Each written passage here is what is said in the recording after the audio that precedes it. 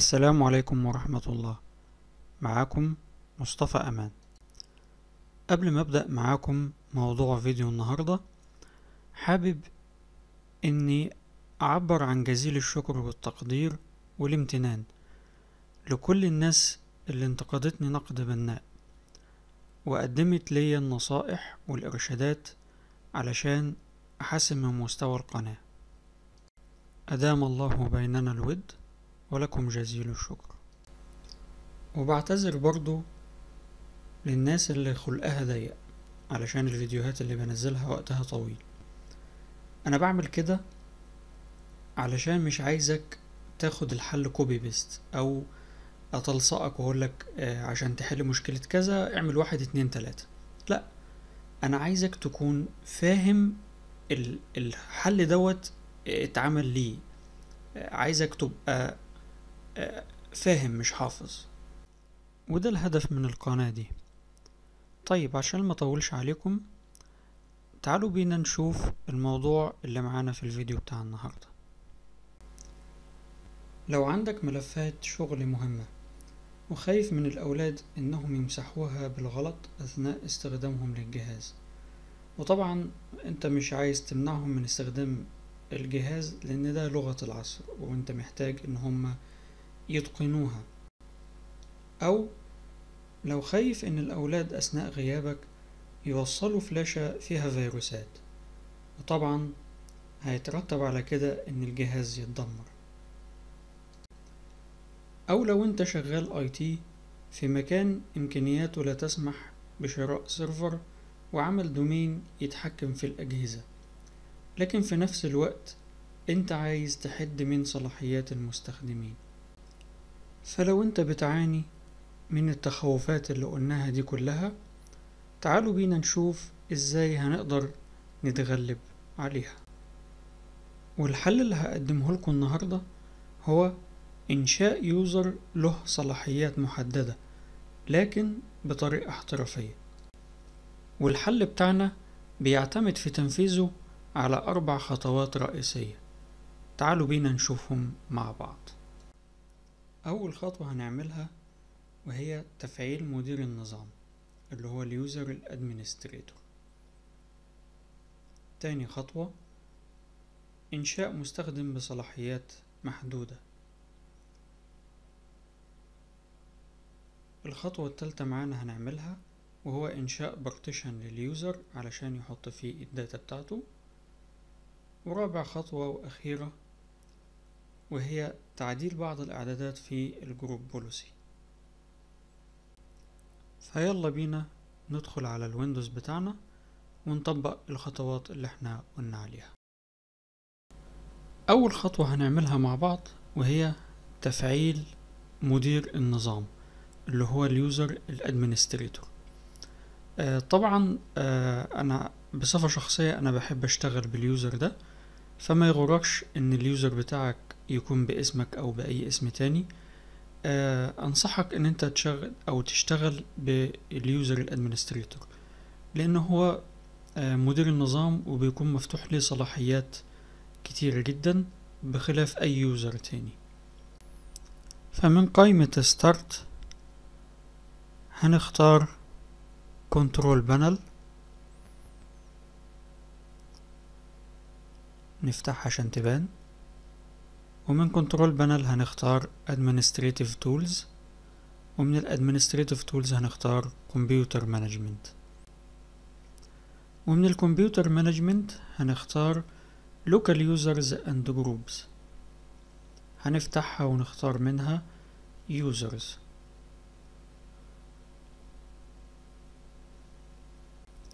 هتلاقي هنا آه كل ال users اللي موجودة على جهاز الكمبيوتر. منها ال user بتاعك ايا كان اسمه وال administrator هتلاقي قدامه سهم كده نازل لتحت ده دليل على إن ال user معمول له disable وعلشان نفعله هنعمل click يمين عليه ونختار properties ومن properties هنشيل ال check box اللي قدام account is disabled.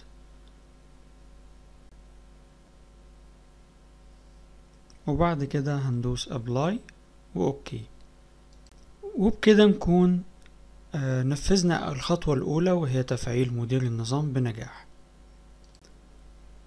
هنعمل تسجيل خروج أو log off من ال user الحالي علشان ندخل على user ال administrator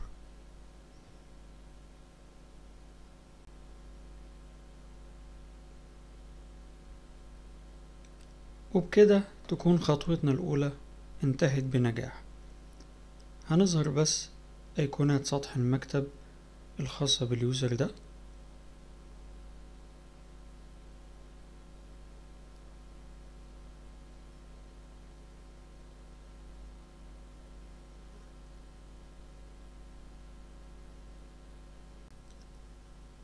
أما بالنسبة لخطوتنا التالية وهي إنشاء مستخدم بصلاحيات محدودة. الخطوة ديت إحنا بننشئ مستخدم آه، صلاحياته مش زي صلاحيات المدير النظام. هيكون محروم من حاجات كتير جدا في النظام. زي مثلا هيكون محروم إن هو يسطب برامج أو إنه يقدر يعدل في إعدادات الشبكة عشان يقدر يفتح نت ولا لأ. أو إنه مثلا يقدر يعدل آه، إعدادات الوقت والتاريخ. دي عينة من الحاجات اللي هيكون محروم منها. من قائمة start هنختار control panel. هنفتح ال category وهنختار large icon عشان يظهر لنا كل الايقونات بتاعة ال control panel. هنفتحها عشان تكون باينة كلها.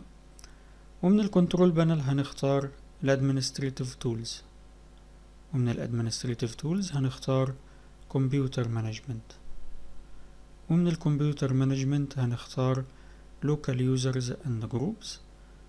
ومنها هنختار users. وفي أي مكان في المربع اللي في الوسط هنعمل click يمين ونختار منه new user. وفي خانة ال user name هنكتب أي اسم أنت عايزه. وليكن مثلا user. وهننزل تحت في ال password. هنكتب واحد اتنين تلاتة مثلا. ونعيد كتابته تاني. واحد اتنين تلاتة. وهنشيل ال check box اللي قدام user must change password at next login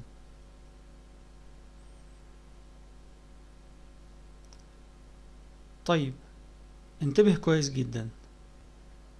لما هنحط ال check box قدام user cannot change password كده أنا بقول لل Windows أو بقول للنظام إن ال user ده صلاحياته محدودة.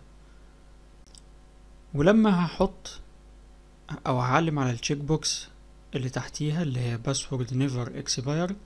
كده أنا بقول للنظام ما تخليش ال password أو ما تطلبش مني أغير ال password كل شوية. هي password واحدة كفاية. وطبعا بنفس الخطوات ديت هنعمل password ال user ال administrator لأنه ما ينفعش يكون من غير password عشان مش أي حد يفتحه. هندوس create كده ال user بتاعنا ات create. وهندوس close هتلاحظ إن ال user بتاعنا ظهر في قائمة ال users بنفس الاسم اللي إحنا سمينا بيه. هنقفل كل ده. وبكده نكون خلصنا الخطوة التانية بنجاح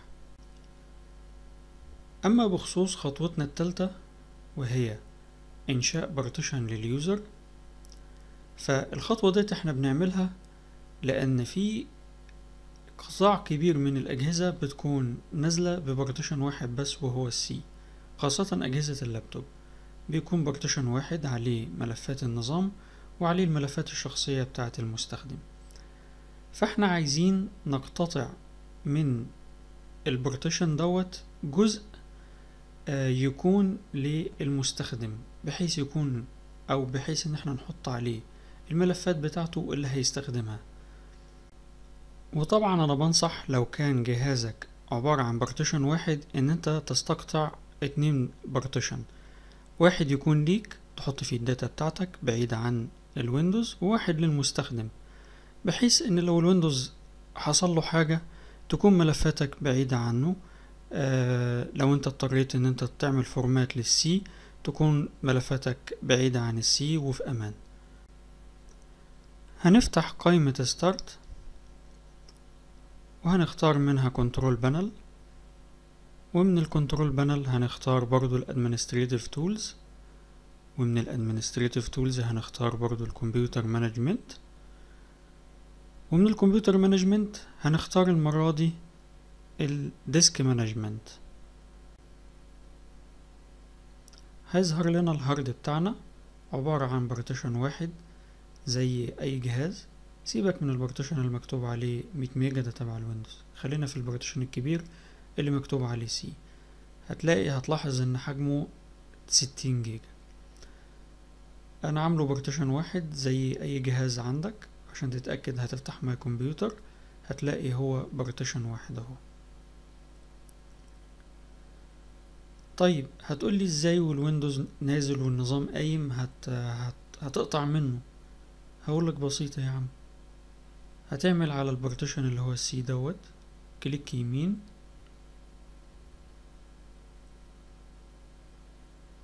وهنختار منها shrink volume.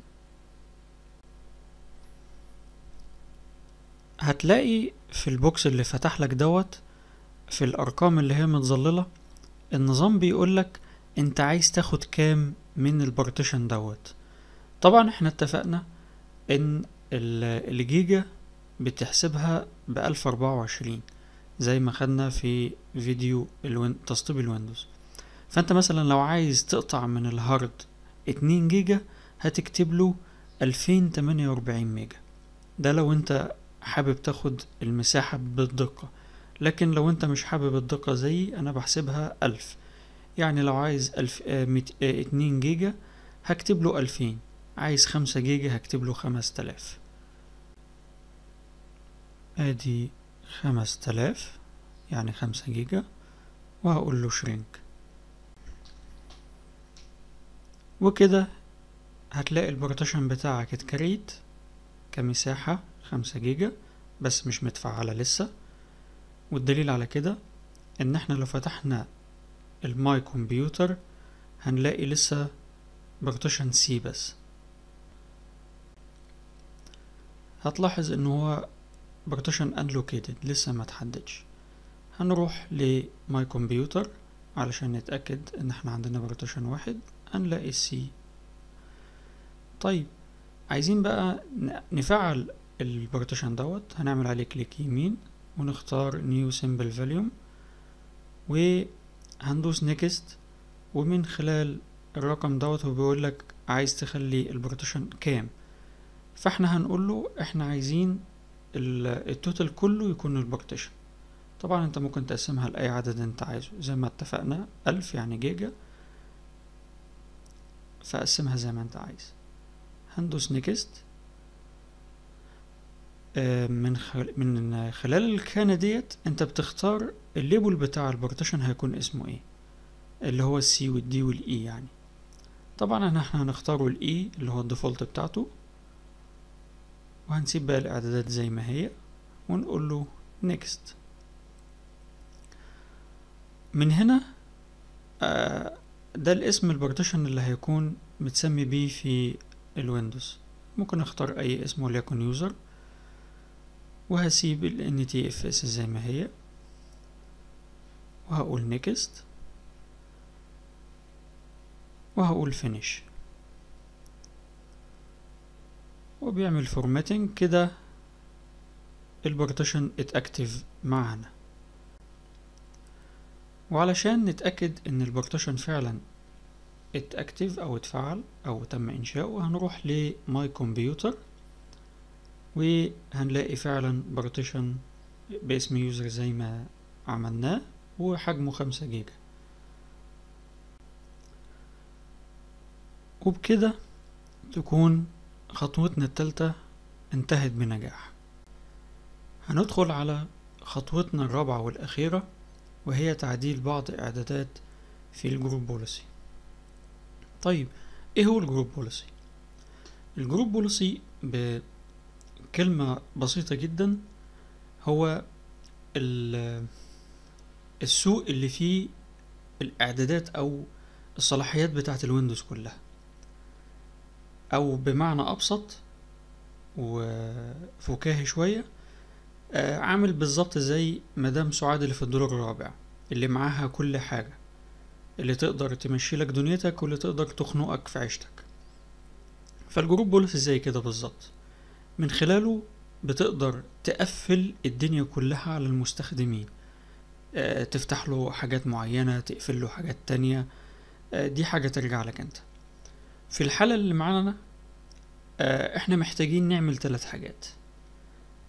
أول حاجة وهي إن إحنا نقفل كل الريموفابل ديسك يعني حطيت أي فلاشة حطيت آه، أي أسطوانة أو حطيت آه، ري- reader بيقرأ ذاكرة داخلية الموبايل أو حتى حطيت موبايل ال Windows آه، هيشوفه بس مش هيسمح للمستخدم إن هو يفتحه. دي أول حاجة.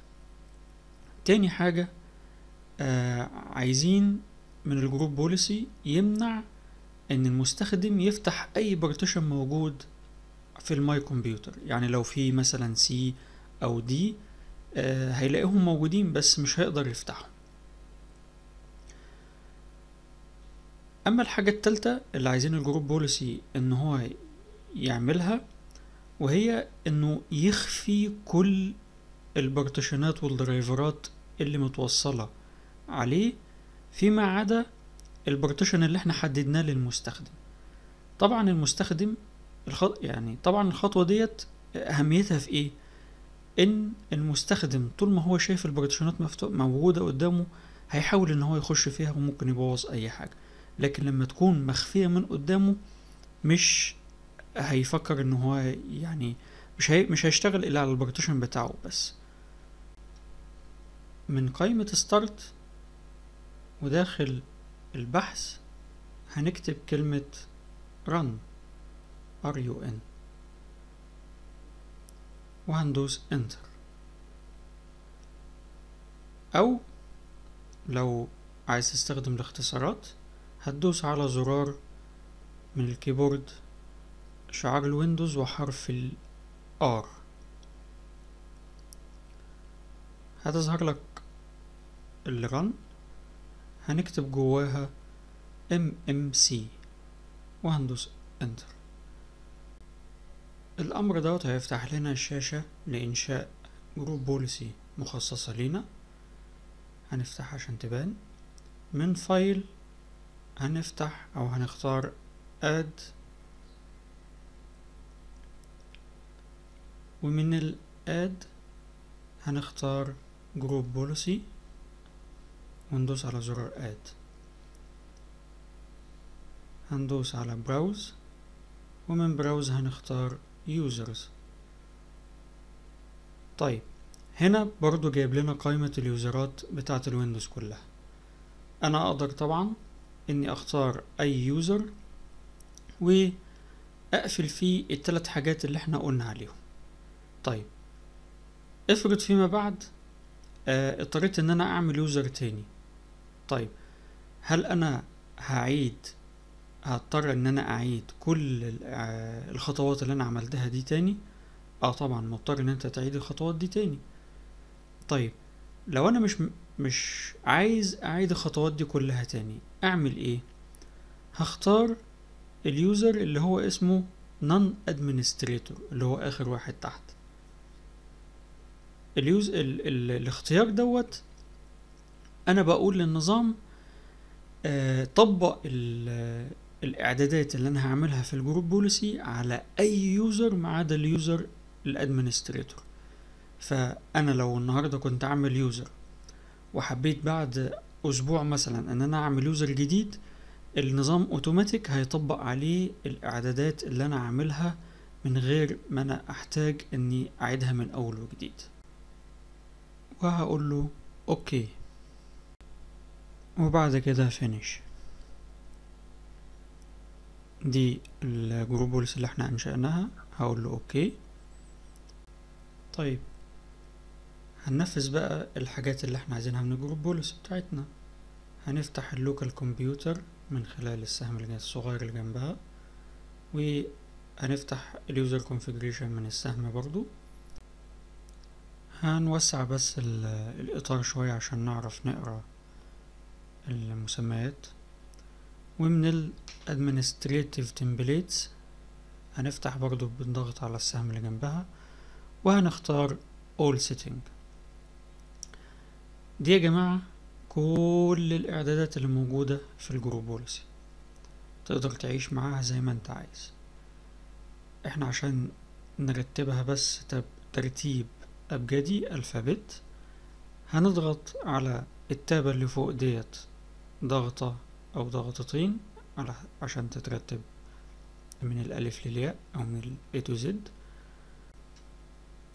أول حاجة عايزين نوصل لها اللي هي all removable storage ودي اللي هتخلينا نتمكن إن إحنا آه نمنع المستخدم إن هو يفتح أي آه removable storage آه آه جهاز تخزين متحرك زي مثلا فلاشة أو ال CD-ROM أو ال DVD أو ال reader بتاع ال memory أو حتى لو وصلت موبايل.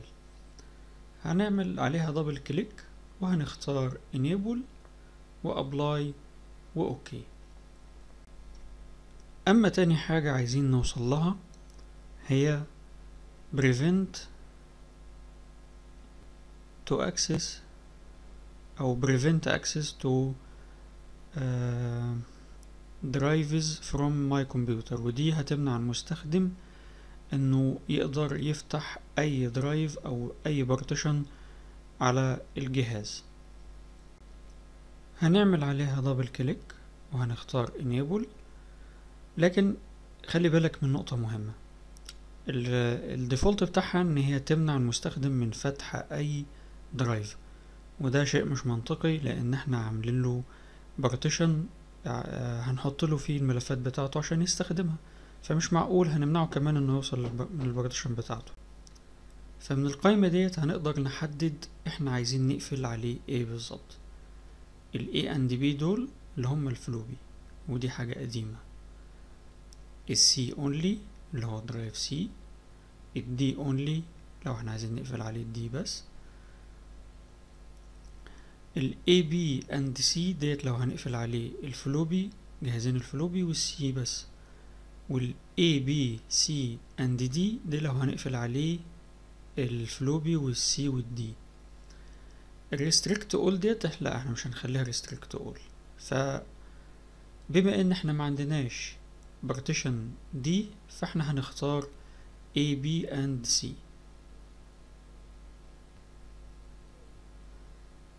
طيب آه احتياطيا ممكن يكون ال CD ROM آه هياخد D فاحتياطيا إحنا ممكن نختار ال A B C and D عشان نضمن إن هو مش هيشوف أي حاجة ونقول apply ونقول OK أما الحاجة التالتة اللي إحنا عايزين نعملها في ال group policy وهي hide these specified drive أو drives in my computer. وده علشان نخفي كل الدرايفرات من الكمبيوتر. هنخ... هنعمل عليها double click ونختار enable وهنختار نفس الاختيار اللي اخترناه في البريفنت ال ABC and D ونقول apply وأوكي وبكده نكون خلصنا الخطوة التالتة بنجاح. هنقول هنقفل هنقول save as. وهنا هنحدد اسم أي اسم للملف دوت. أنا هسيبه زي ما هو console واحد. وهختار بس ان هو عايز يتسيف في ال desktop. وهقول save آه طبعا الخيار دوت علشان لو حبيت إني أرجع للملف وأعدل فيه أي حاجة مثلا عايز أفتح لل user حاجة من اللي أنا قافلها عليه آه، مجرد إن أنا هفتح الملف دوت عشان ما أعملش كل الخطوات اللي فاتت دي مرة تانية. وأعدل فيه زي ما أنا عايز. طبعا الإعدادات دي كلها على ال user بتاعي اللي هو administrator مش مسمعة. يعني أنا شايف كل الدرايفرات وأقدر أخش على أي حاجة أنا عايزها. ولو وصلت فلاشة كمان هقدر أوصل لل data اللي جواها. طيب عايزين بقى نجرب نشوف الإعدادات ديت على ال user اللي اسمه user اللي إحنا عملناه. هل هي آه، مسمعة ومتفعلة ولا لأ؟ هنخرج من ال user بتاعنا اللي هو ال admin ال administrator. هنعمل switch user وهنفتح ال user اللي إحنا أنشأناه اللي هو user وهنكتب ال password اللي عملناها له اللي هي واحد اتنين تلاتة.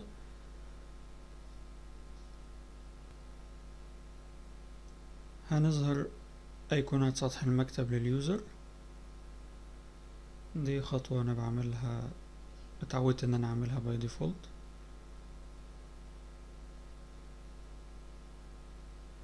هنفتح ال my computer.